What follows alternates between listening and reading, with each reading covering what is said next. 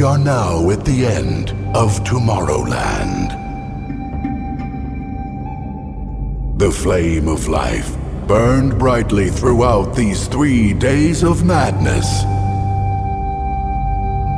Do not be sad or mourn this end. Be like the phoenix,